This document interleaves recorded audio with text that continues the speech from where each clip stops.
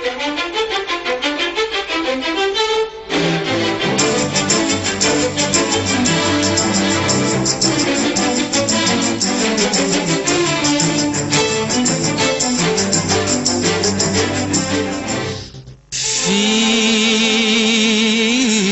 nice.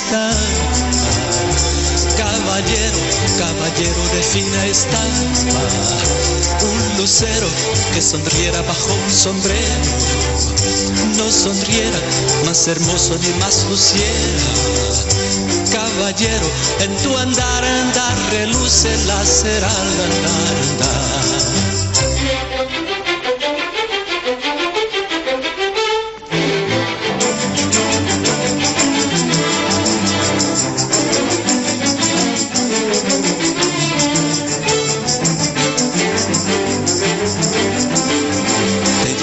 Los aguanes y a los patios encantados te lleva hacia las plazuelas y a los amores soñados. Veredita que se arrulla con tafetanes bordados, tacón de chapín de seda y justes almidonados.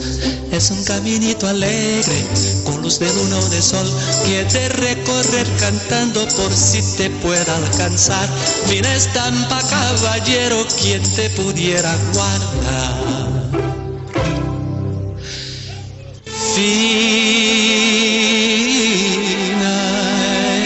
estampa, caballero, caballero de fina estampa, un lucero que sonriera bajo un sombrero, no sonriera más hermoso ni más luciera, caballero, en tu andar, andar reluce la cera, al andar, andar.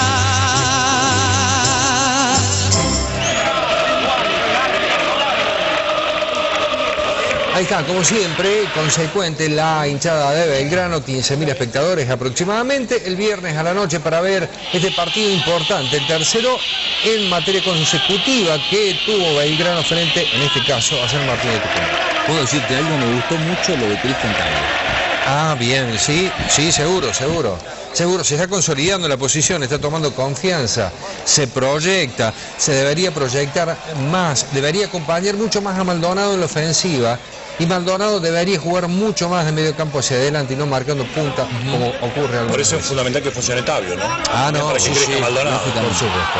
Cuando se produce la apertura del marcador, el toque de Juan Carlos Maldonado del tiro libre, el remate. En realidad, el cabezazo de Ribeir Rodríguez Pérez y la apertura del marcador, algo que me parece facilitó mucho el rendimiento de Belgrano, le dio mucha tranquilidad a lo largo del partido. ¿no? Para mí fue determinante que a los tres minutos vos estés ganando 1 a 0, cambia cualquier estrategia que tengas prevista eh, y tenés que corregir sobre la marcha. Me parece que esto le pasó a San Martín que de golpe se vio perdiendo en el amanecer del juego y casi te diría que ese fue el gol más importante de los cuatro que hizo ayer.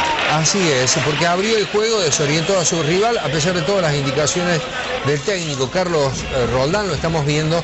El equipo tucumano, salvo de manera muy aislada, este, generó juego. Cuando empieza a producir su gran actuación Franco A. Qué difícil se hace eh, ahora hablar de Juan Carlos Maldonado y Franco Vázquez. Uno lo hace con cuidado, ¿no? Como diciendo, ¿tendrán actuaciones que corroboren esto? ¿Darán regularidad? Está bien, la genialidad, el jugador distinto es difícil que sea tan regular pero por lo menos con una prestación que tenga una continuidad. ¿no? Ojalá que se dé porque uno sabe que Belgrano los necesita como la vida. El remate del uruguayo número 8 de Belgrano que eh, prácticamente pega en el ángulo travesaño poste. Con relación a lo que decís vos, me parece que tenemos que tener tranquilidad porque lo hemos manifestado eh, muchísimo con relación a la confianza que le tenemos a estos dos jugadores. Después de ahora en adelante que adquiera o no regularidad, digamos que es un asunto de ellos, ¿no? Pero uno ha apostado a la calidad futbolística. Yo creo que la van a tener en la medida que tengan la ratificación de confianza.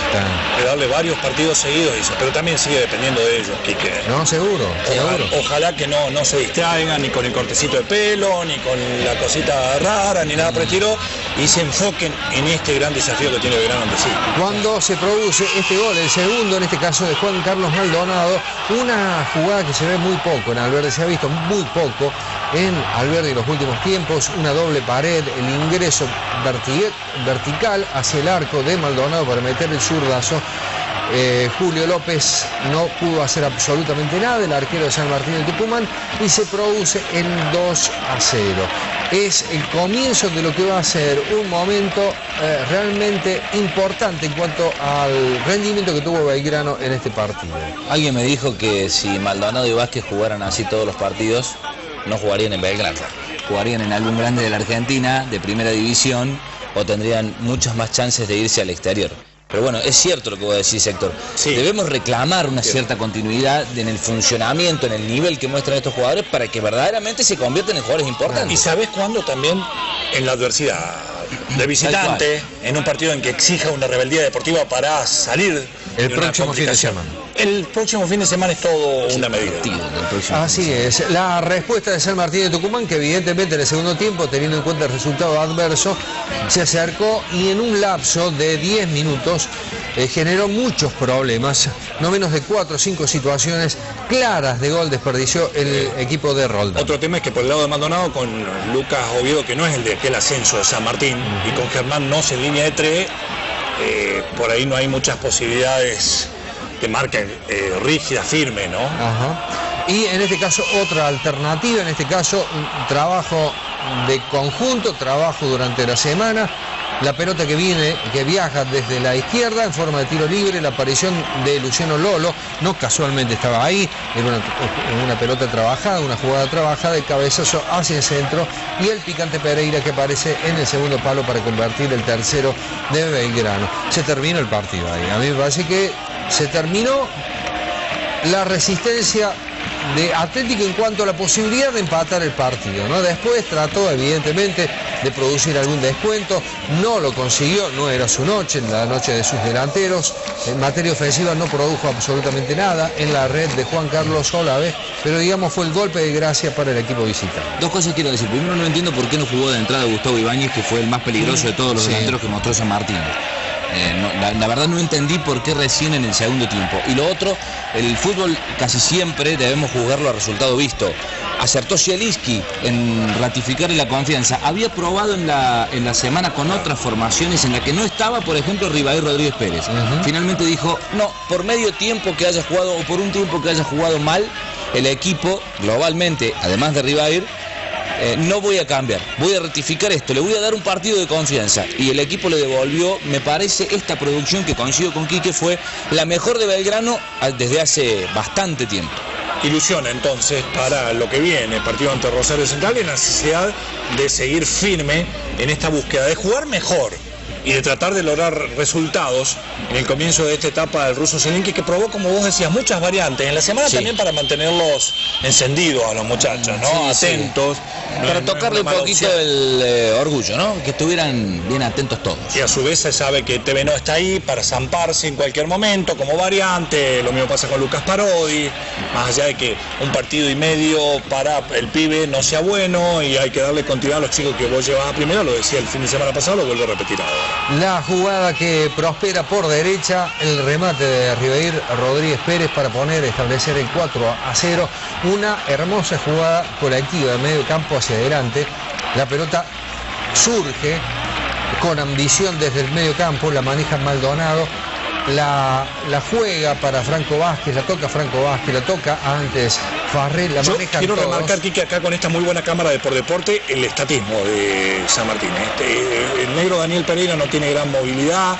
Eh, observar que tiene margen con, con espacios. Eh, eh, habitualmente ni siquiera aquí en, la cancha de Belgrano tiene esas facilidades muchas veces Belgrano, ¿no? Exacto, se lo vio muy apagado todo San Martín de Tucumán. Hay que tener en cuenta que San Martín, si no me equivoco, en la fecha pasada le ganó San Martín de San Juan. si no me equivoco. o sea que venía bastante bien. Todavía estaba un punto por encima de él. Así es, ganó bien Belgrano y jugó bonito. 4 a 0 sobre San Martín de Tucumán. Un partido muy, muy inteligente y, todo el grupo estaba muy comprometido. Donde había un jugador de San Martín, había dos o tres de Belgrano. Me parece que eso fue la clave. el primer tiempo me parece que Juan tocó dos pelotas y golpeamos en el momento justo, entró la, la jugada, la peinada ahí de, de Ribair y, y, me parece que, se abrió el partido. Sí, la verdad que creo que salió un partido hermoso. los 11 que, que jugamos, hicimos un partido excepcional y la verdad que estoy contento y bueno, esperemos seguir por buen camino. Sí, contenta porque creo que me debía un partido así y bueno, por suerte pudimos golear, hacer cuatro goles y eso también es importante. La verdad que el equipo jugó bien, merecimos ganar, hicimos un partido correcto, así que bien, lo necesitábamos. Ah, pero la idea clara, un equipo corto, con presión, que intente jugar al fútbol cuando, cuando podemos, tener posición de pelota, esa es la idea, a veces sucede que sale y a veces era importante abrir el, el marcador para después tener un poco más de espacio, bueno, lo tuvimos, creo que hicimos un partido correcto y ganamos bien.